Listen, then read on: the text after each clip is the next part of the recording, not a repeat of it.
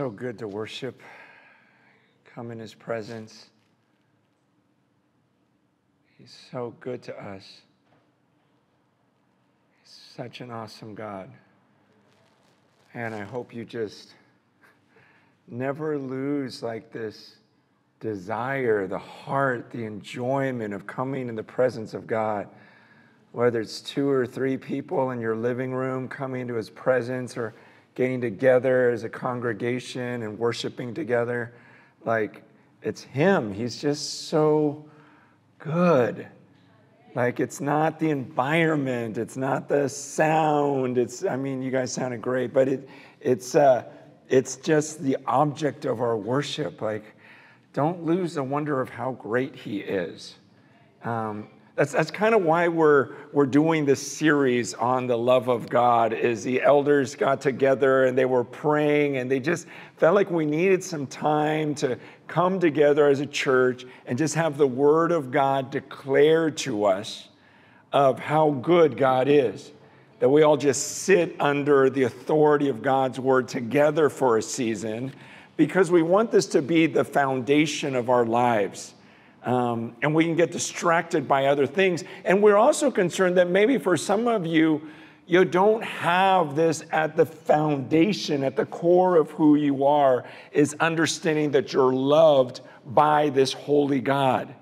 And so we said, before we talk about anything else, we got to make sure our people really understand who He is and how much He desires and loves us because we all have baggage and we all have different teachings or thoughts or things that people have said to us that stick and they shouldn't. And so understand this is not just teaching about the love of God, but during these next few weeks, we want us all to be in prayer that some of these strongholds that are in our minds and even in our hearts at the core of who we are, some of those things would be broken. Okay? So, teaching, biblical teaching is important, but it's not sufficient. Okay? So, the truth needs to be declared but we also have to be deep in prayer because there's a mystery that happens where, in that demonic realm, things are literally broken through our united prayers. Okay? That's why Paul didn't just lecture the Ephesians and just send a letter off to them. He says, I'm on my knees praying for you because I need this mystery to happen. I need the eyes of your hearts enlightened. I need a strength to come from heaven to enter into the core of your being so that Christ can dwell in there. That doesn't just happen from, sing off. I think this thing died. All right, I'll grab the other one.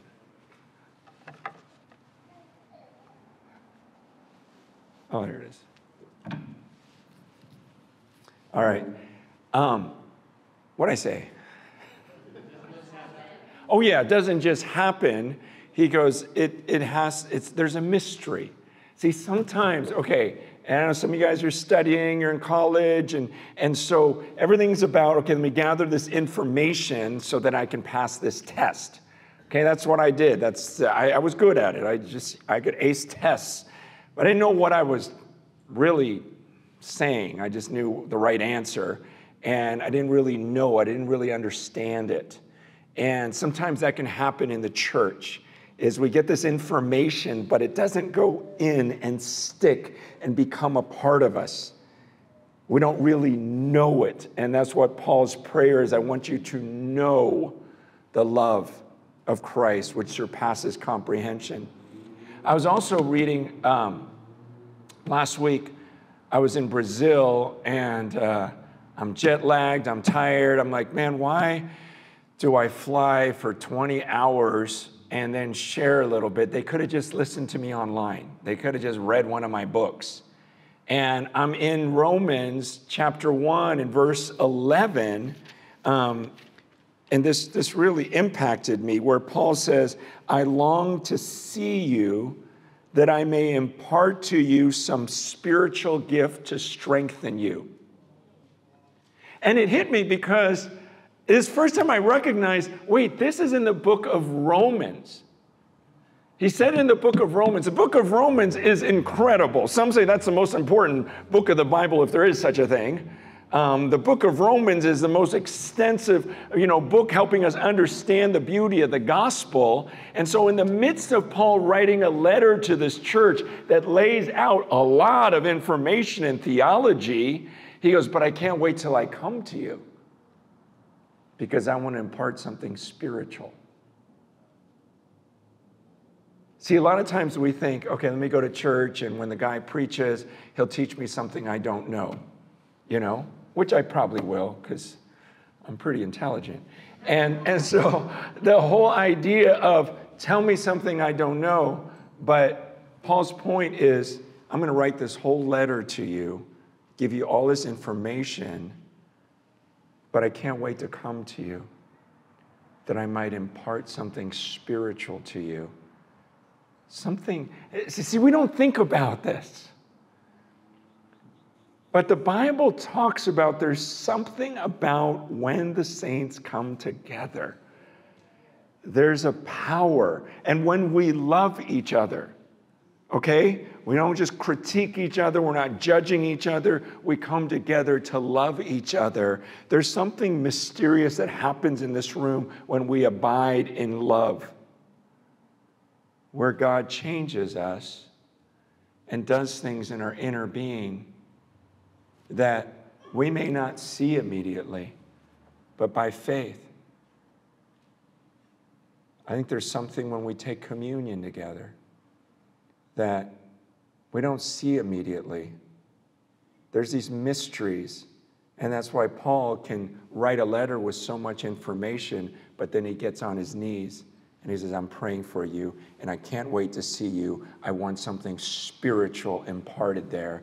And then we are mutually edified by each other spiritually in some supernatural way. Because I believe the Holy Spirit is in this room with us right now.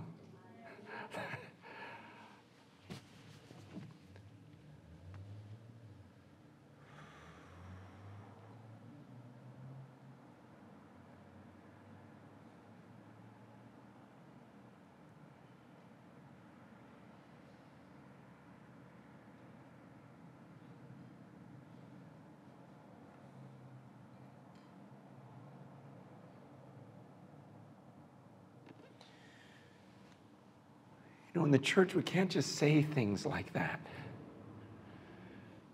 without recognizing what we're saying. We're saying the third person of the Trinity in the room with us. That's heavy.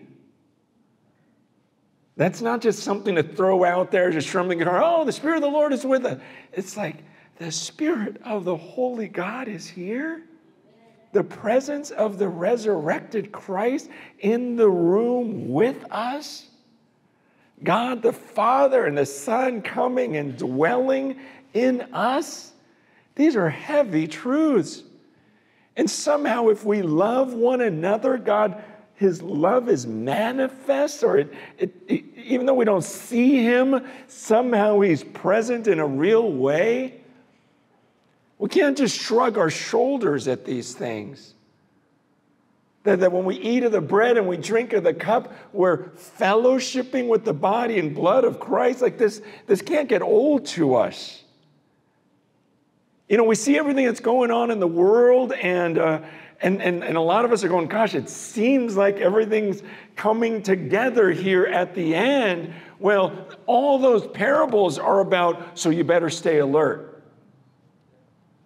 I was in San Francisco this morning with our pastors out in San Francisco, and I was going, man, we got to stay alert right now. Okay?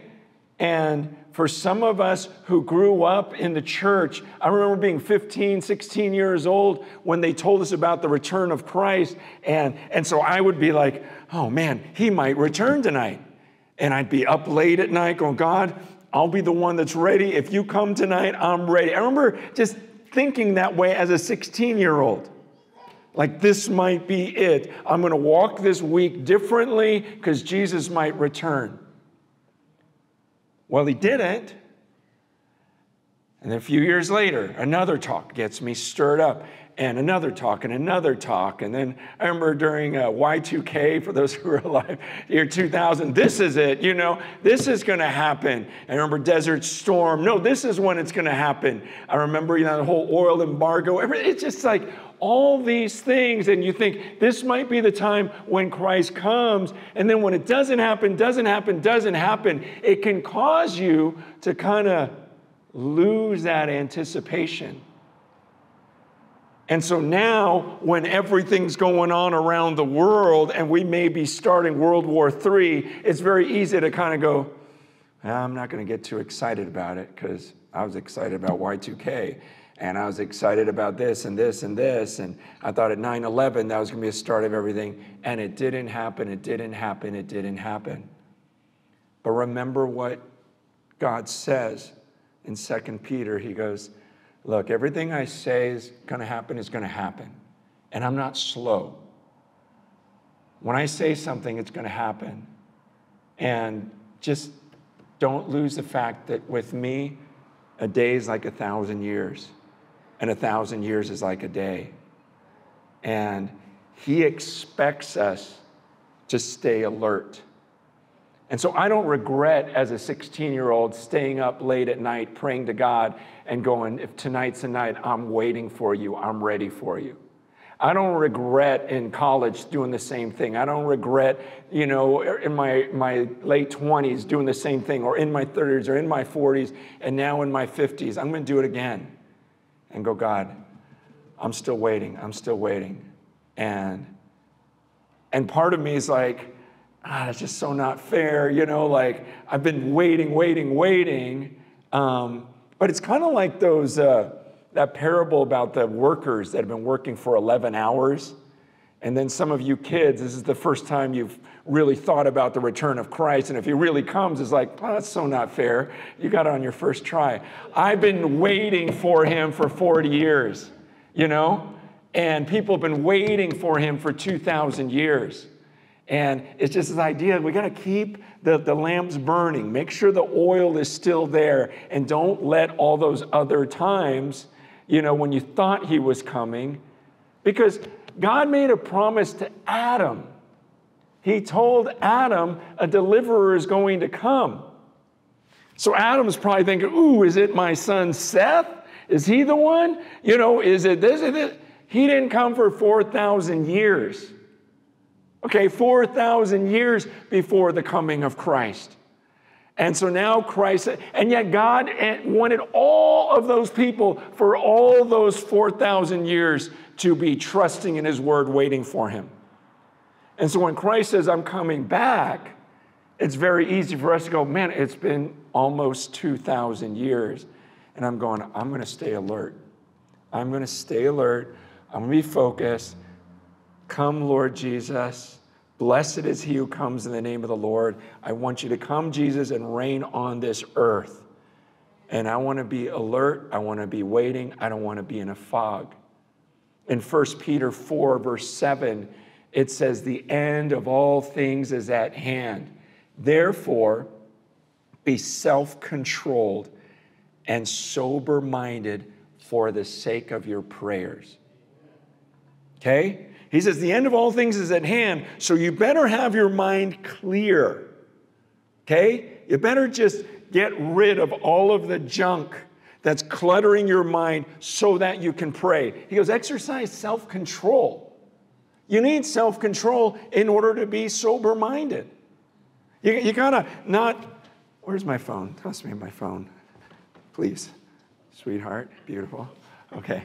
Um, so I, we got to have self control to be able to just put this thing down, walk away from it, so that my mind is clear.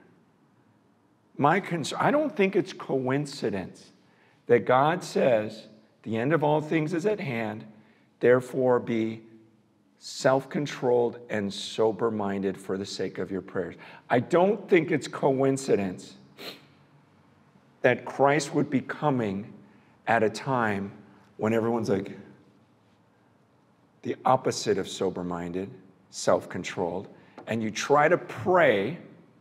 You got to understand, Christianity from the start was this monastic, had this monastic side of it, like a monasterial where I get alone, I get in silence, I come into the presence of God, and I just experience Him, and I am focused on Him, and I'm meditating on His truths. I can take one deep truth and meditate on it all day. I'm going to go in a cave and just dwell on this and, and have this intimate time with the Lord. It's always been that. There's always been a part of our faith until now because we have a generation that says, pray for an hour straight?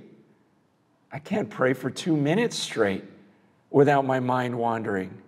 And yet, we don't have the self control to put that aside so that we can be sober minded and we really can pray. And why is that so important? Because the Bible is so clear that our battle is not flesh and blood. See, we have, we have, I, have, I go to these church uh, growth things where they're like, oh, you got to dress better. You got to, you know, sing better. You know, a little fog in the room. It makes you feel good. Ha! You know, it's like all this stuff. Let's do all of these things in the flesh, and that's what's going to grow your church. And that's how this is going to change. And this, and, and it's like, no. This is a spiritual battle we're wrestling against not flesh and blood, not, okay, let's do some things in the flesh and that'll change your heart. No, just like the Holy Spirit is in this room, they're demonic forces. We know the verses, we memorize them, they just don't change us. Ephesians says your wrestle is not flesh and blood. You can sit and argue with someone all day long. And again, that's necessary at times, but it's not sufficient because it's not about this flesh and blood. Let me talk you into something. There's something spiritual going on. And that's why Paul's on his knees. That's why I pray that something spiritual is imparted during this series on the love of God, where it's not just me saying stuff about Him, but in the spiritual world, things are unlocked. And I don't know how that works. But the Bible says that there's these this cosmic powers over this present darkness. So the present darkness that you see in the world all these ideas about sexuality and marriage and whatever else, this lawlessness, it's not just human beings coming up with a new idea. He says there are cosmic powers over this present darkness.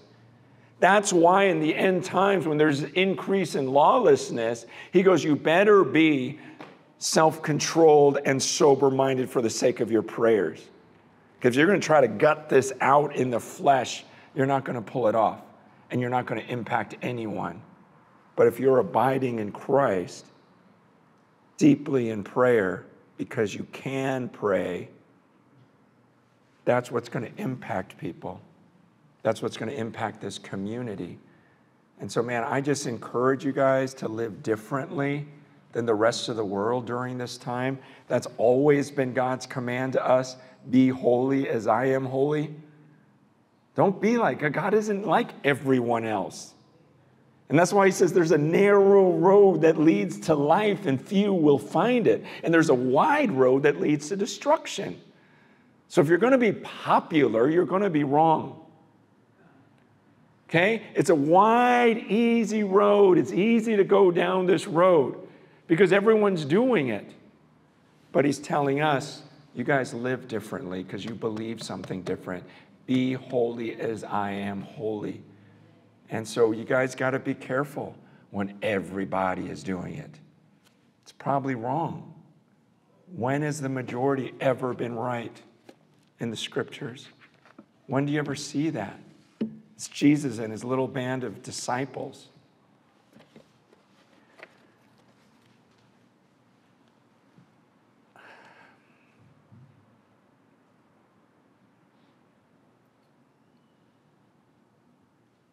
I've been getting some texts from people in Israel, and uh, it's amazing um, the faith of some of these people Palestinian or Jewish, believers in Messiah. I, let me explain what living differently looks like. Some of you were there in Israel with me when we were worshiping with Jews who believe in Yeshua. And they were alongside Palestinians who believe in Yeshua. And you got to understand that unity that those Jews and Arabs had and the cost of it. Okay, so to be a Palestinian and to go talk to Jews and embrace them and love them, guess what? Every Palestinian hates you now because you're embracing the enemy. And not only that, all the Jews already hate you because you're Palestinian. So then, why would you embrace this Jew? Well, because Ephesians 2 says that what Christ did was he destroyed the hostility on the cross. He broke it down in his own body. And they believe that. And so they're going, okay, I know you're Jewish and you have, you know, this, the, all my people want to destroy you, extinguish you, but you love Jesus and we're a part of the same body. And so, in the same way, you've got these messianic believers who are looking at these Palestinians that so many see as the enemy, and they're going, I love you. Man, I, was sitting at a dinner table with this old uh, Jewish woman and this, this old Palestinian woman, and just listening to them exchange compliments to one another and tell each other why they love each other so much. And I'm going, that is crazy. I felt like I was in this sacred moment as they're just telling each other, no, no, you're great because of this. No, you are amazing because of this. And I'm like, meanwhile, there's a war going on, but not in the body of Christ.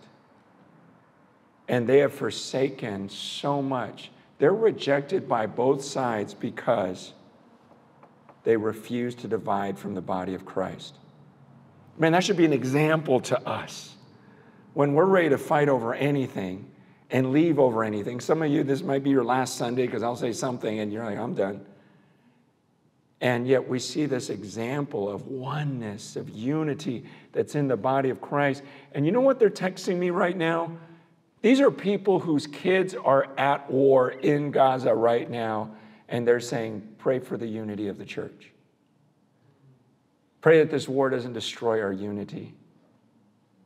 We love our Iranian brothers that are passionately worshiping Jesus. That somehow in this time we unite as the body of Christ.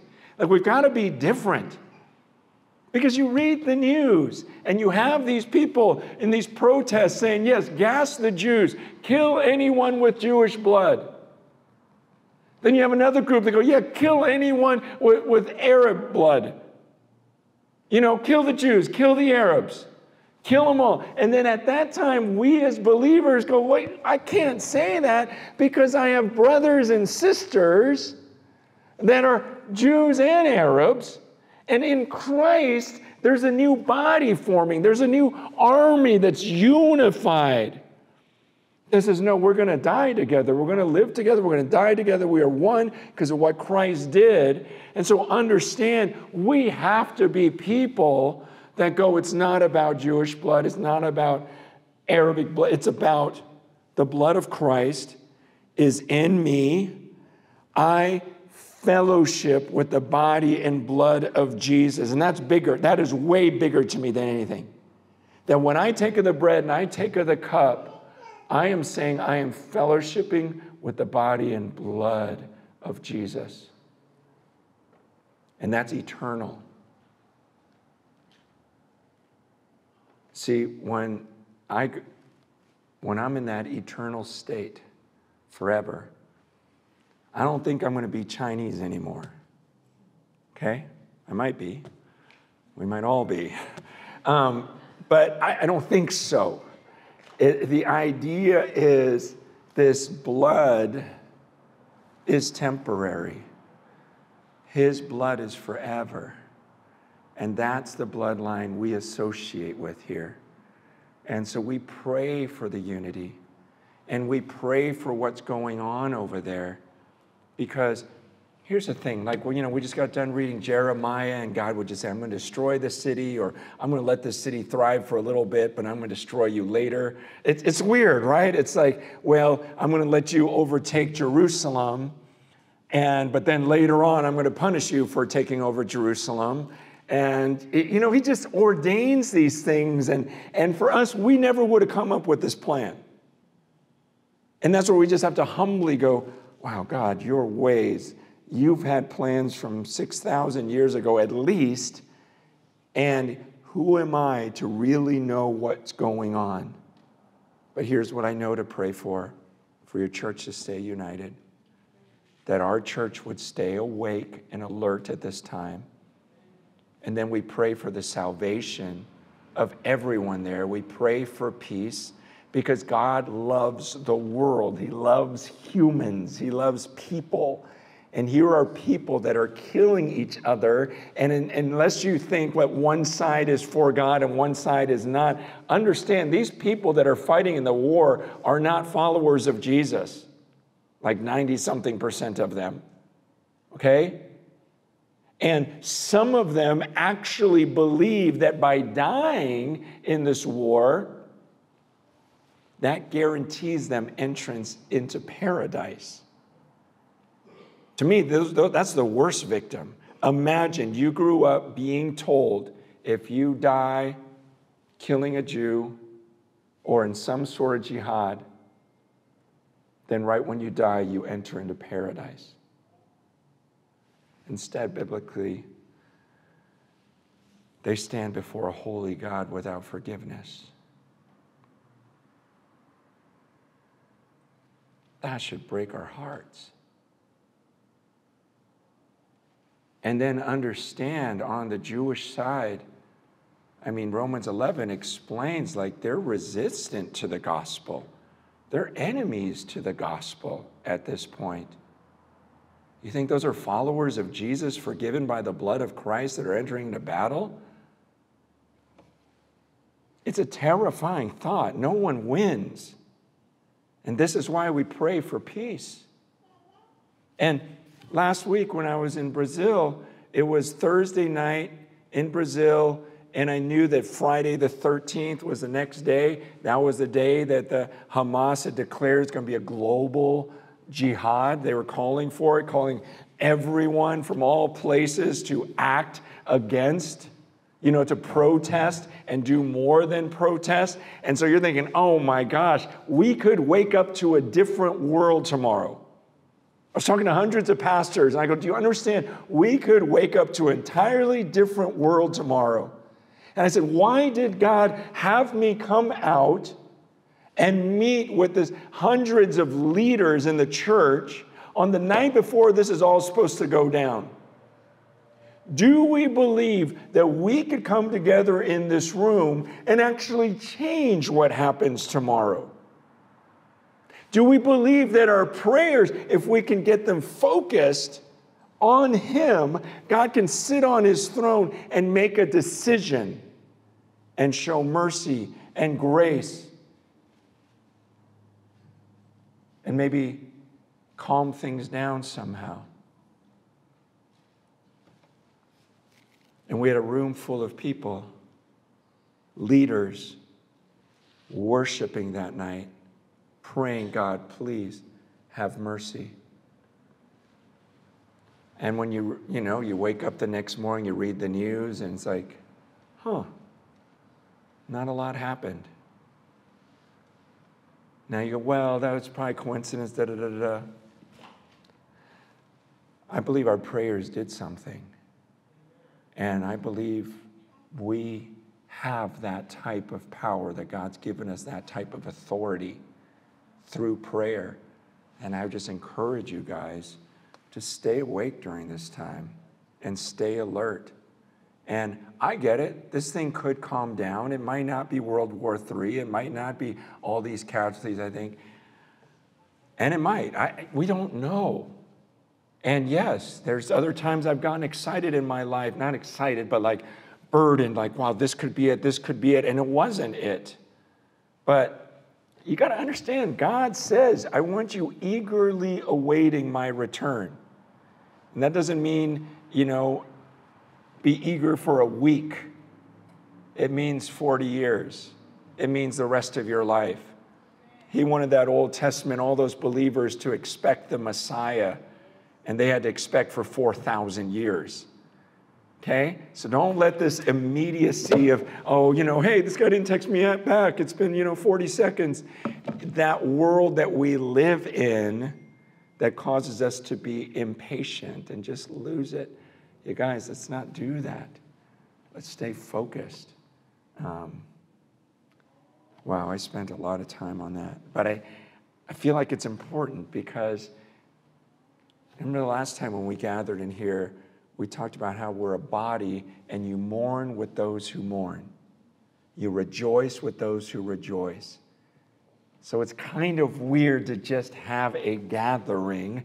I mean, don't you feel a little weird sometimes, like going through life and knowing what's going on over there, knowing that people are terrified?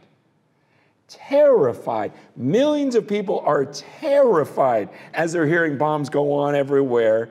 And so we have to mourn with them. We have to mourn with those who have lost parents and children in this war, thousands of people. And we need to repent of it.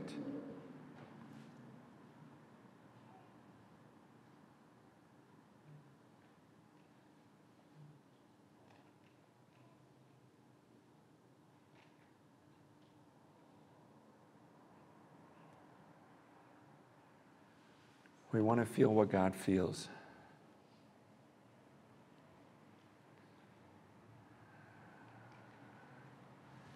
Yesterday, I was in Minnesota, and uh, actually, the day before, I was doing this event for orphans in, uh, in Africa. And, and a guy got up and spoke, a young guy who just got back from Africa. And he was talking about what he saw, what he experienced, and how broken he was over these kids. And very sincere, not like cheesy Christian thing. He was sincere. Like he just like, whoa, this guy was impacted. He can hardly talk. And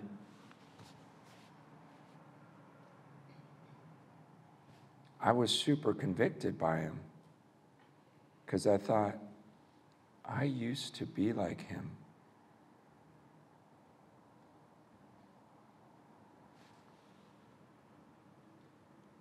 I remember the first time I came back from Africa.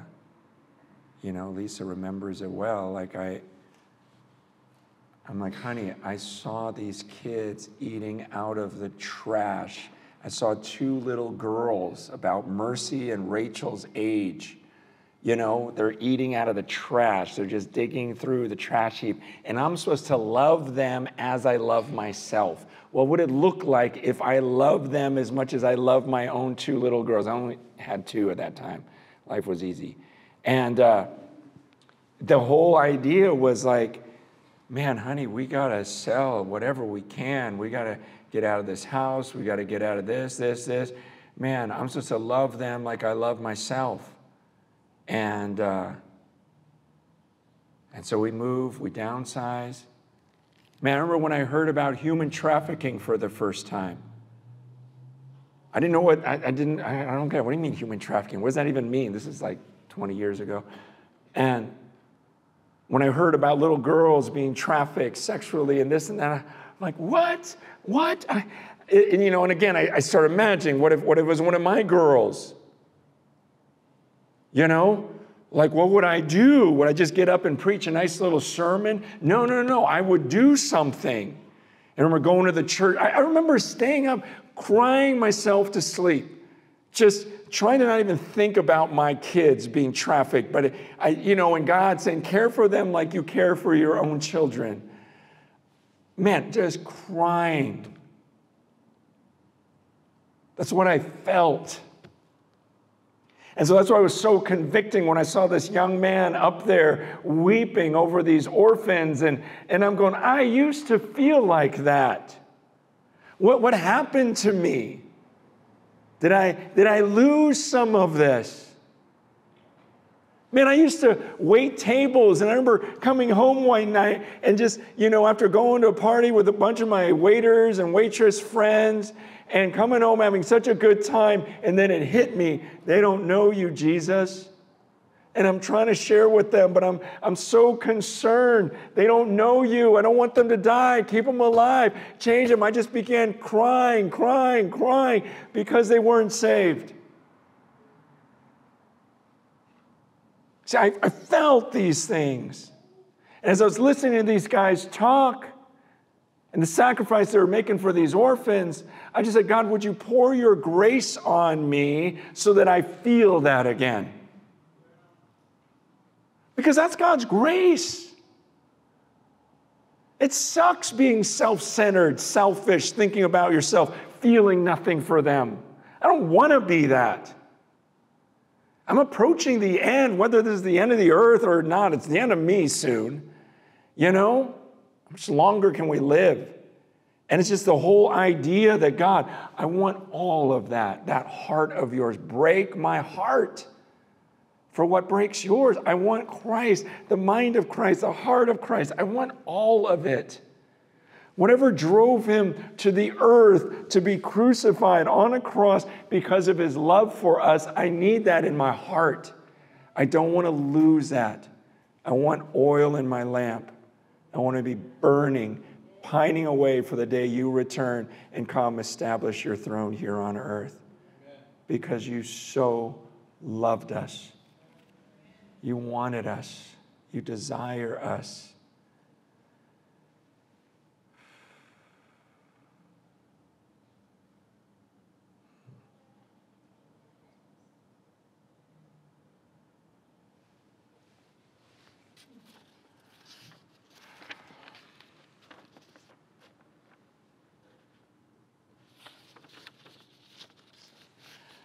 I'm just going to share one more thought. Uh, I'm not going to get to my notes today. do that next week. Um, one other thought in regards to uh, everything that's going on over there. Um, hopefully, this ties it together. Lord, help me.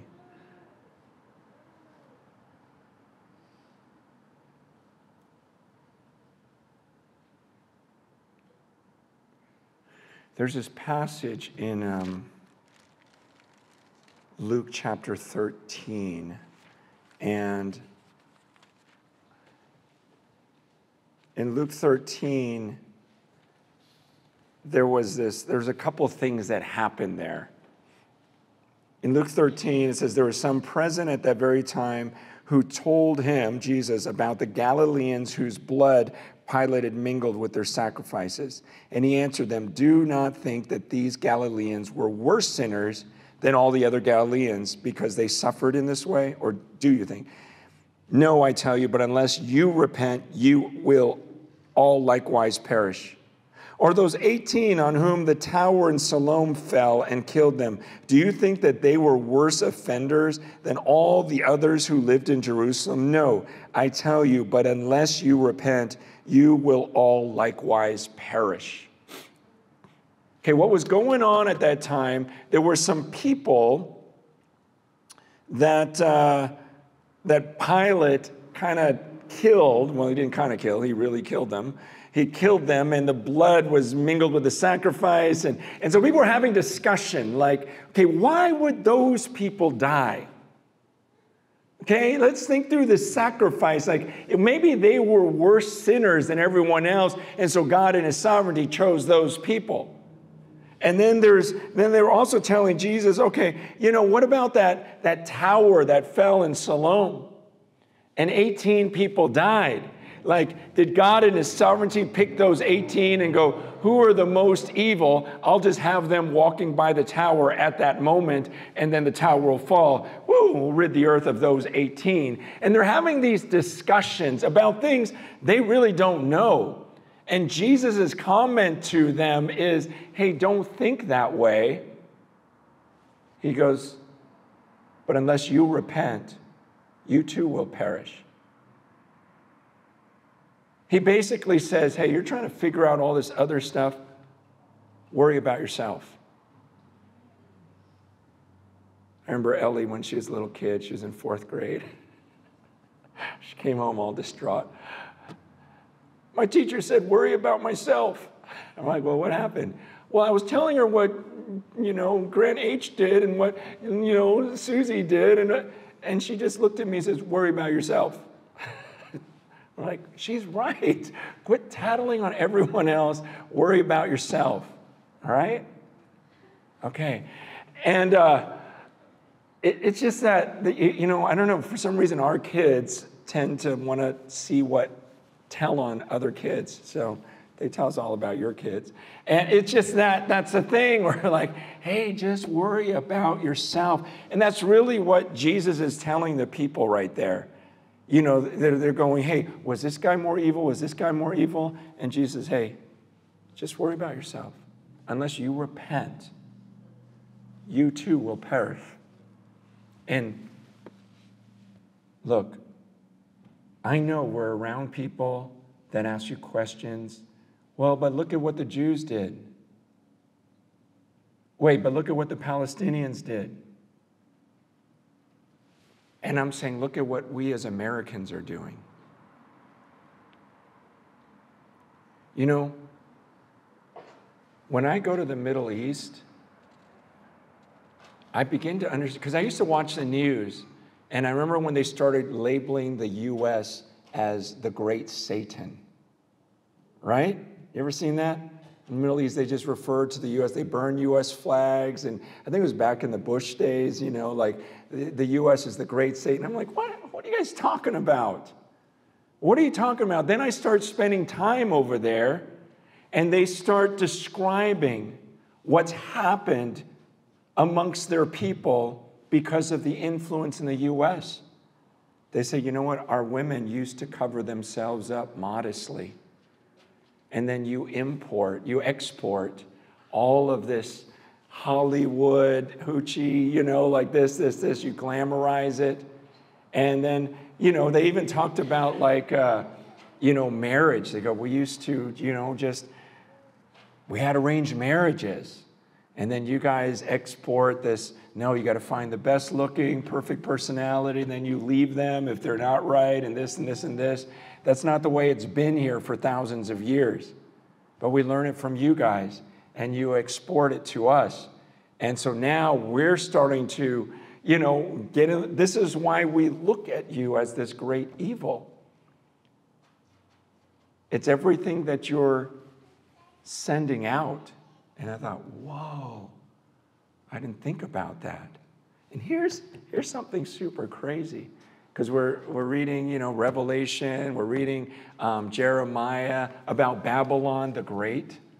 Um, and Babylon, this evil, you know, empire that I believe is, there's this demonic spirit behind it all. I mean, you know that Babel, Babel, Tower of Babel, Babylon, it's this spirit that's continued on. And, and it's interesting, one year I was with Rachel um, and we were in Hollywood when we went and watched that play. Was that when you were 14 or 16? 14. And I borrowed a friend's Porsche, and I was like, oh, you know, I'm going to take her out. She's about to start high school, and I just wanted to get her in the right mindset. And I don't know whether the Porsche helped, but it was just more like, I just want to have fun. There's like celebrate, but let's let's talk. Let's have this awesome time. And so we go into Hollywood, and uh, and we're right there in Hollywood and Highland. There's this big mall. Um, I, I forget what it's called. And, uh, and, and the, the Oscars are about to take place soon. And so you've got uh, the red carpet, you know, we're looking down and we see the red carpet as we're in this courtyard of this awesome mall in the middle of Hollywood. And, uh, and as we're looking down, I look on the wall and there's a plaque. And the plaque says, Court of Babylon. Like this area that we're in was called the Court of Babylon. I thought, why would you label a court the Court of Babylon? And then I look up and I suddenly realize there are these giant statues of Babylonian gods. Like half man, half creature, like they're bad. And you can read about it right there on the plaque. And it's this whole idea is like, why am I standing in a court in Hollywood in the year whatever, 2000 and something, and, uh, and there's these Babylonian gods when so many say that Hollywood is the great Babylon, exporting all of this idolatry and evil around the world. I just go, wow, that's really interesting. I didn't mean to get into all that. I just, to me, I'm just going, look, like Jesus says in Luke 13, we can judge all day who's right or wrong out there. Instead, we got to start looking at our own lives and going, Am I embracing something here that is demonic? Am I loving certain things in the world? And we have to look at ourselves as Americans where for so many years we held the line biblically. Then in the 60s, we start taking prayer out of schools, the commandments out of the schools, everything's gone. And now here we are in the Bay Area, and we're in this godless post Christian time. And the Bible says because there's an increase in lawlessness, the love of many will grow cold. And that's why we in this room just go, you know what? I want to be like my Jewish and Palestinian brothers and sisters who are in Jerusalem right now, worshiping together, living differently. God's calling us to live differently, to be holy because He's holy. And I think the end is near. I could be wrong, but I'm going to live like the end is near, and I'm going to stay alert. Even though I've been trying to do this for 40 years, I go, it's going to be right one of these times. There's just too much coming together at once. And so we as a church are getting together for the next few weeks, um, studying the love of God. I really will focus on that next week, unless something crazy happens this week. But um,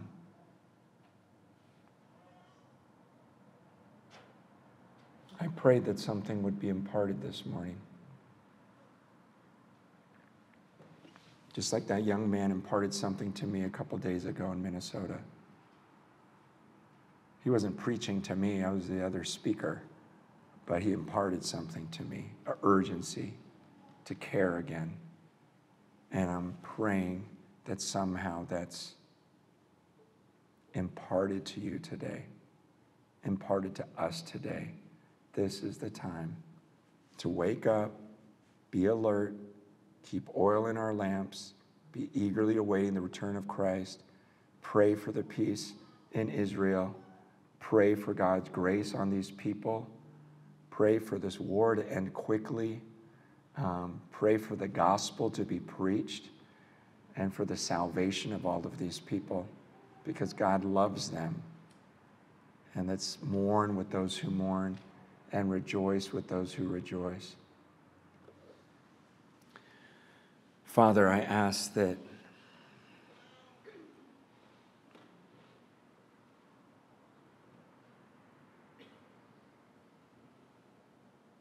you would take the word that was spoken today and just embed it in our hearts. Holy Spirit, I ask that you give us the strength to wake up, to strengthen what remains. Give us self control so that we can be sober minded, ready for your return. Give us self control to not stare at every video. I feel like we got to answer every text within seconds and that we can really pray. God, we pray against the darkness here in East Palo Alto. God, we don't just accept it, Lord. We believe that we, united as a body, can actually open the eyes of the blind. Those who are spiritually blind and are just following along these cosmic powers of this present darkness.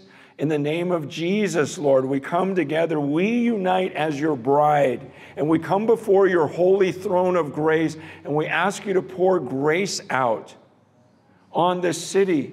We pray that you fill this church and churches around with people who, who fall on their faces and repent.